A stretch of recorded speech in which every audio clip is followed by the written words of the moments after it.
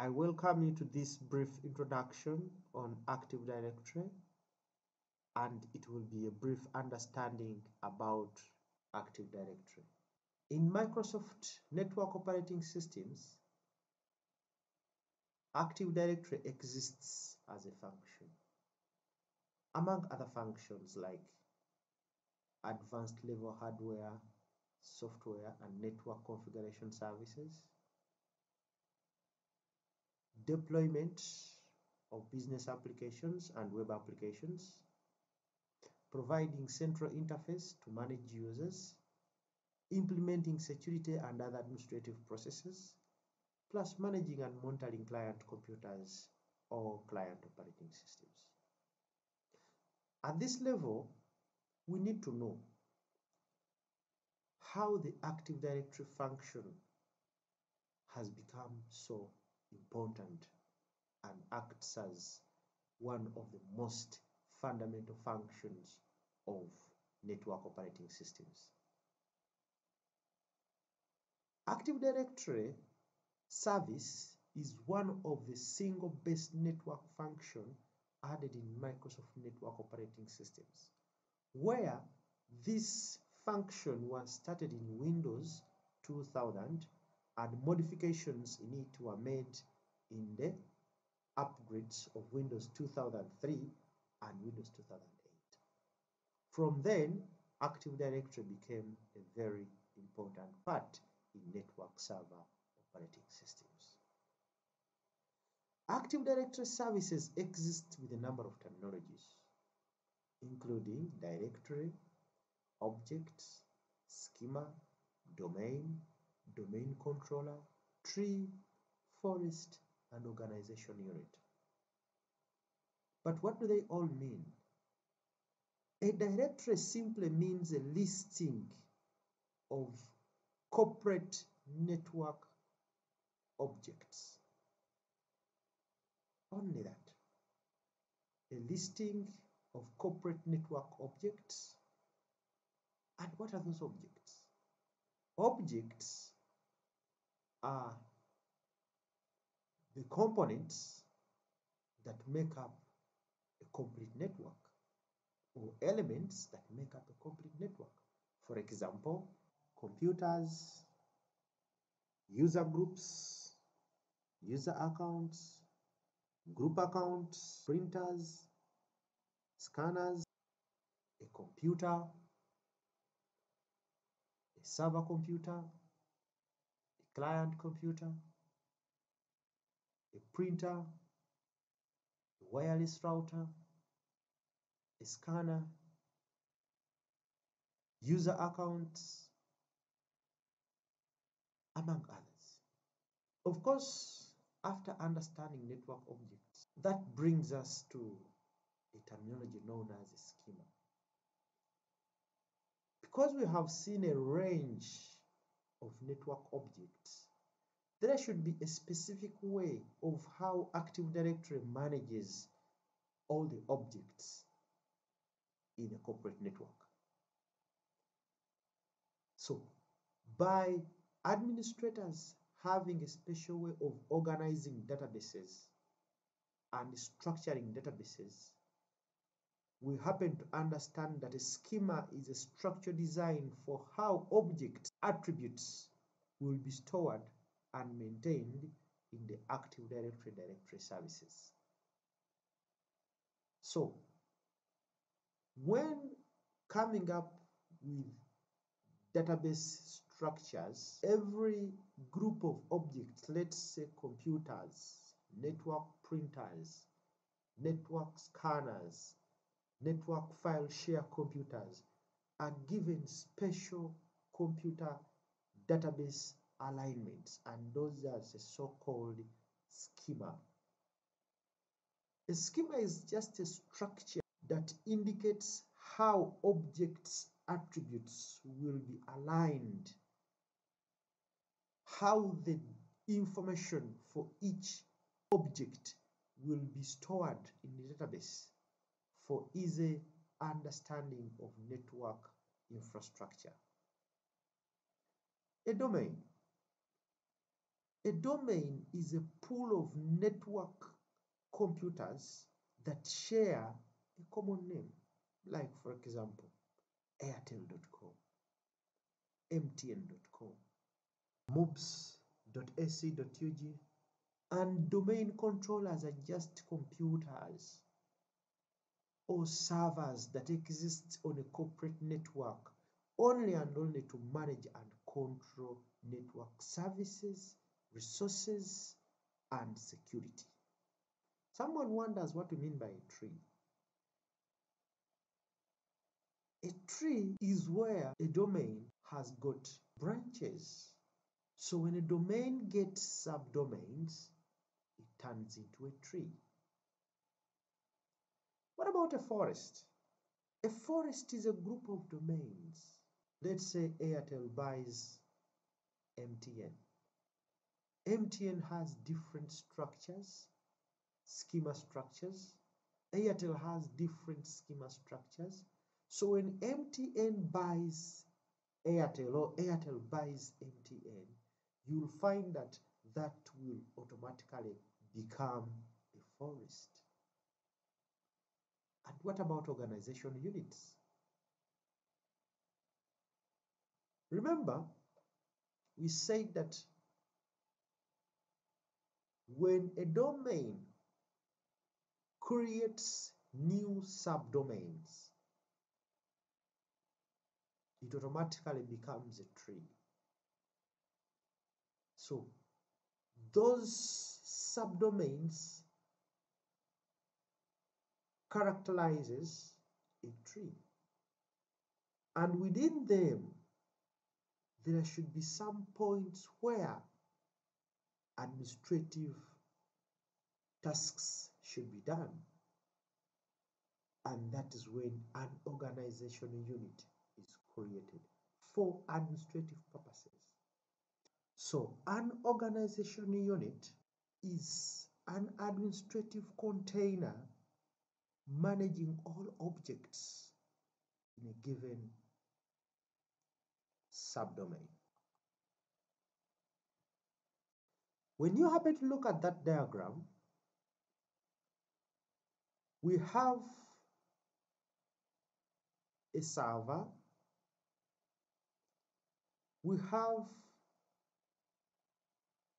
a network resource like a printer and a scanner and a wireless router, among other devices on the network.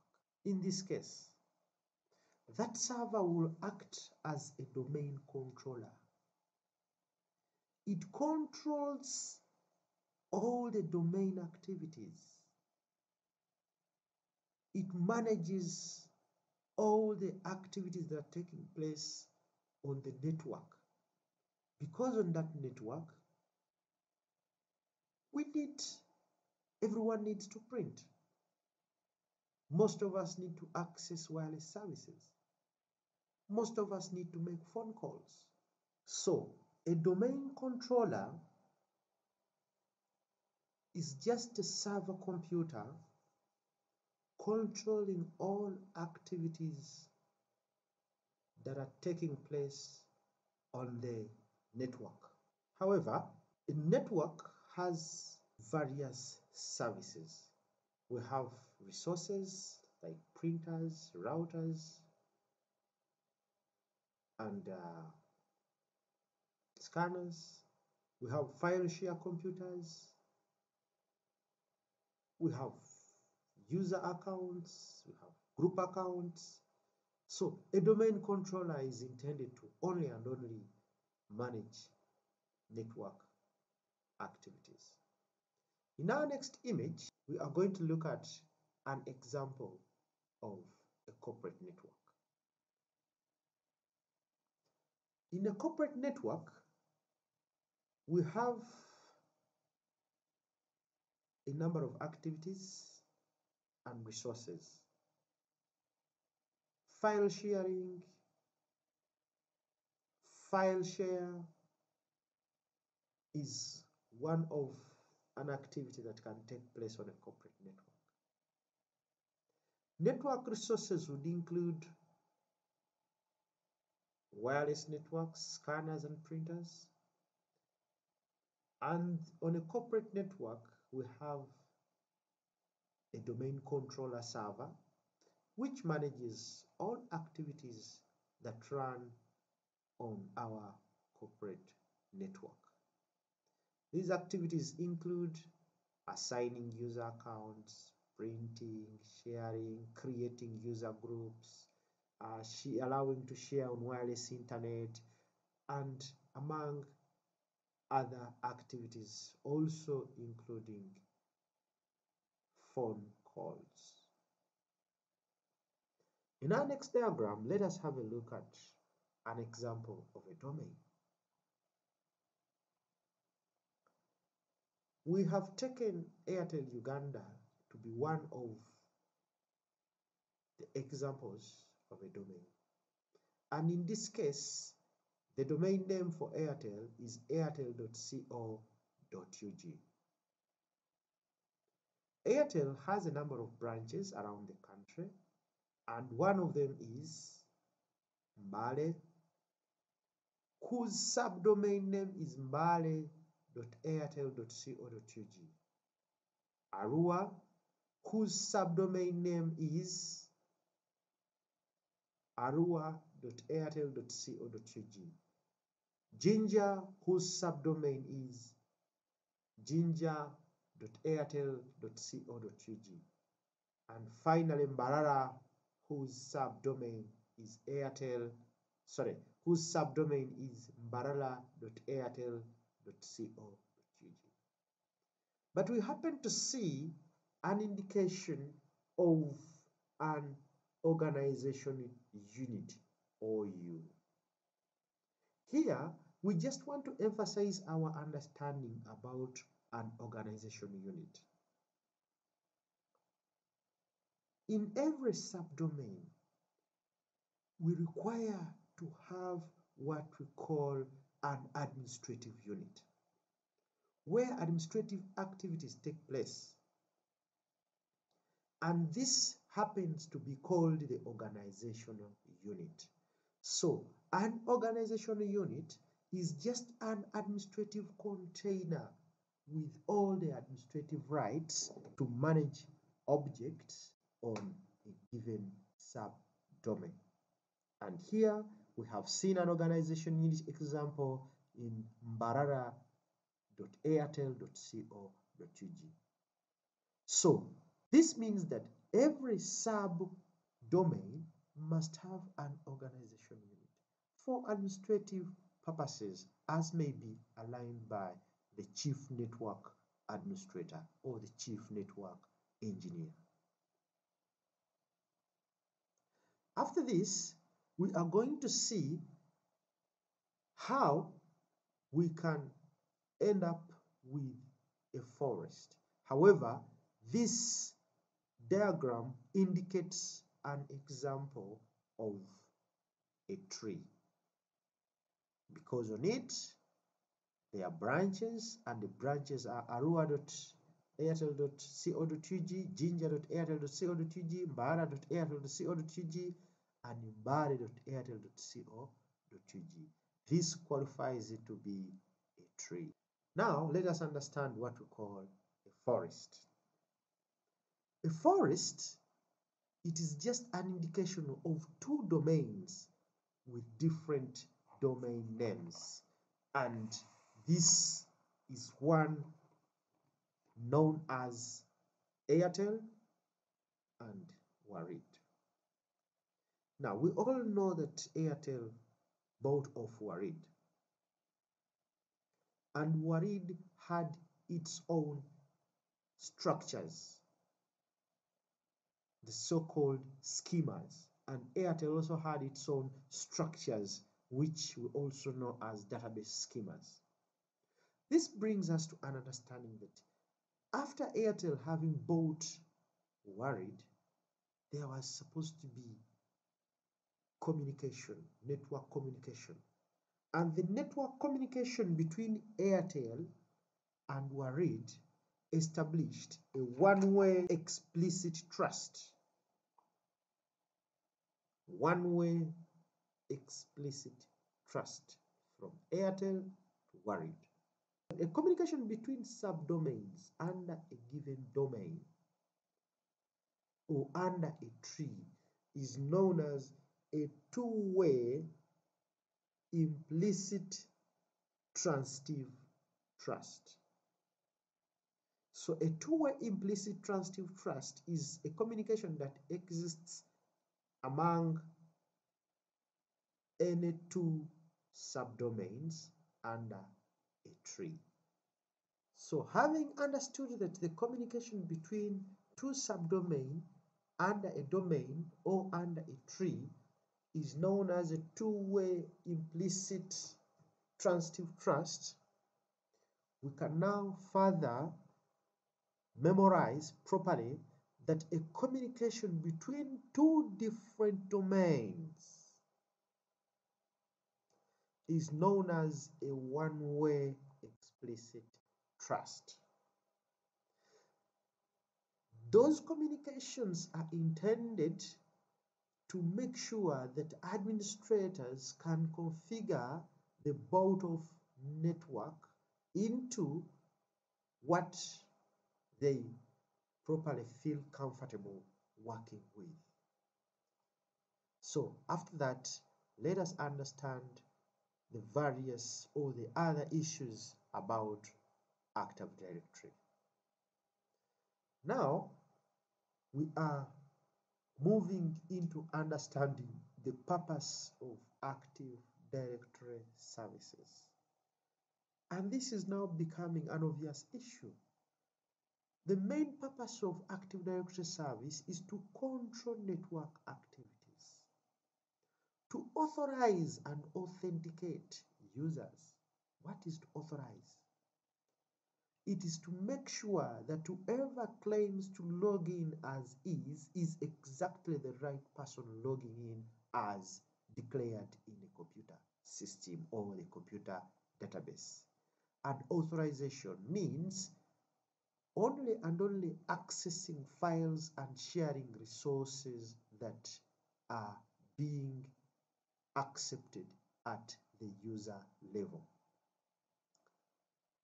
Another purpose of Active Directory is a centralized security management of network services and activities and centralized management of all network objects.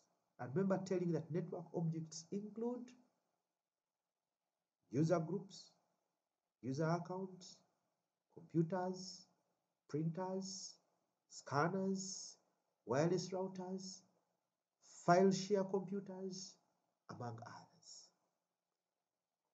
Now, after understanding the purpose of Active Directory services, which include controlling network activities, authorizing and authentication, where we understood that authorization is making sure that the logged in user is exactly the user who he claims to be and authorization and authentication as where the activities accessed by the user are the rightful activities that the user is supposed to access. And centralized security management, centralized management of all network objects, and centralized management of common tasks. What are the common tasks? changing user accounts, changing passwords, configuring user groups, uh, adding user rights, removing user rights, deleting accounts, all these activities are purposed in the Active Directory services. And after that, we shall go on to our next topic known as the Active Directory Directory Services Protocols and Active Directory Directory Services Benefits. The Active Directory Directory Services service was developed aiming at an efficient management of objects on a computer network. And it resolves all the information requests from objects within a database using the LDAP protocol and the SSL protocol. The LDAP protocol is a lightweight data access protocol. SSL protocol is the secure socket layer protocol. And all these protocols are aimed at clear and proper data access resolutions or information access resolution. Now, let us have a look at the directory benefits. The directory services only simplifies the administrative end user work while enhancing security for the organization. Administrators enjoy a centralized user and rights management as well as a centralized control over computer users, configurations, and Active Directory Services group policy features. Users can authenticate once and then seemingly access any resource in the domain for which they are authorized to access. And all that happens on a single logon. Files are stored in a central position and they can be shared by any user on a network. Backup resources are also managed on the network. Properly understood by the ICT team and the business community. So the ICT team ensures business continuity with help of Active Directory services. Lastly, Active Directory services enable proper planning for network users and resources. Thank you for watching.